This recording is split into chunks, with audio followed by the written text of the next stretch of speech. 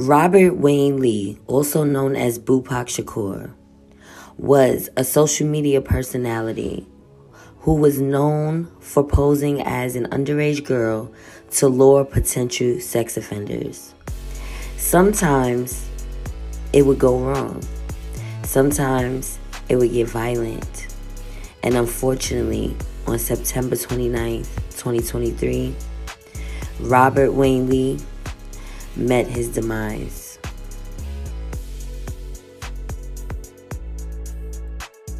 Hey, I'm gonna beat your ass. bro. I'll beat your ass. Pedophile! Pedo! Everybody get their phone out. You a pedophile, bitch. And I'll sock you again. Pedo! pedophile! I believe you, but I understand. You understand? He said, can you see more some more pics? They they said, I'm in school right now. He said, I see. He said, okay, what do you want to do? I'm down for Well, it's whatever. not all like that. It's What do you mean it's not like what? no. It's what I'm saying is is that you're reading what was said, but you're skipping through to the part. Hey, what's up? Man, nothing much. Nothing much. I'm just cool. Yeah. I just want to be real, like I'm younger. Yeah, yeah, that's better.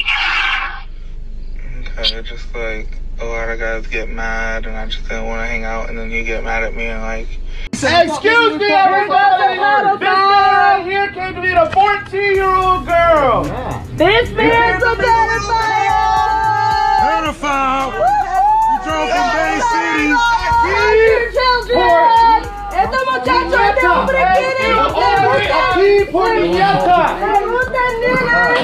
What's up, dog? What you come to here? What you come here to do, sir? You came to meet a little girl, didn't you? a Pontiac man known for pursuing sexual predators. Thank you for joining us at 10. I'm Simon Shaquette. Robert Lee, known as Boopac Shakur, was shot and killed at Universal Coney Island in Pontiac last night. Lee had a large social media following and would pose as young girls online, then record confrontations with sexual predators whom he communicated with. Tonight, friends and family gathering to host a vigil for Lee. 7 Action News reporter Tiara Braddock has a closer look at Lee's history and this warning from law enforcement.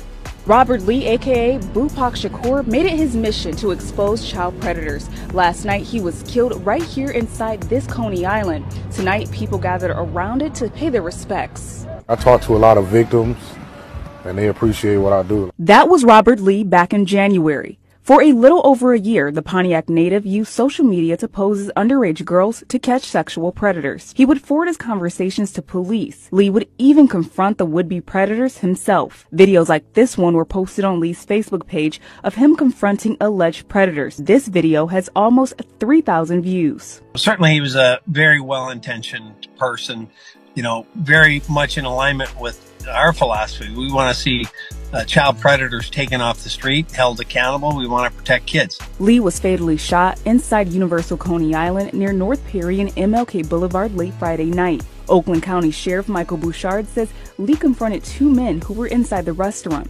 He even accused one of the men of being a pedophile. the confrontation escalated very quickly and ultimately the second individual in the booth produced a uh, firearm and shot him uh, multiple times Police have arrested the two suspects involved in Lee's shooting. They haven't released their names because they haven't been formally charged yet. According to Sheriff Bouchard, Lee's one man crusade led to arrest and criminal charges of several men. The sheriff says this type of vigilantism can be very dangerous. He doesn't recommend people confronting predators. oftentimes if you actually corner a predator sometimes they become violent they get trapped they you know try to get away using any means at their fingertips Meanwhile, Lee will be missed by his family, friends, and the fans of his work. He really changed a lot of lives. He really cared about the kids of the community. He wanted to he wanted to keep everyone's kids safe and he was just a really really caring person in the community. He really cared about this city a lot.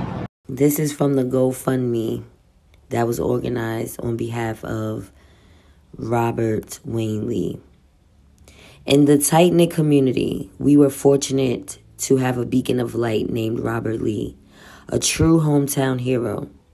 Robert dedicated his life to protecting the innocence of our children from those with malicious intentions. Through his courageous efforts, he successfully exposed 132 predators who sought to harm our community's youth. Tragically, on Friday, September 29, 2023, while carrying out his mission to protect our children, Robert was fatally shot by a repeated offender.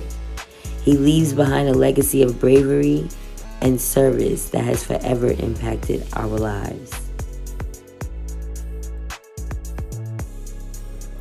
Now, there have been mixed reactions to Boopac.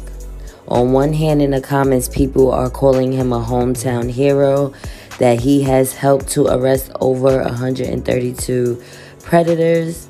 But then there's people that's saying it's creepy and it's weird to set people up uh, who could be potential predators. I think he was doing a great service. I believe his intentions were good. I believe we need more people like this. But we also have to pay attention to the fact that these people are creeps and that their reaction is going to be violent. And it's unfortunate that Boopac lost his life for doing something good for the community. Rest in peace, Boopac.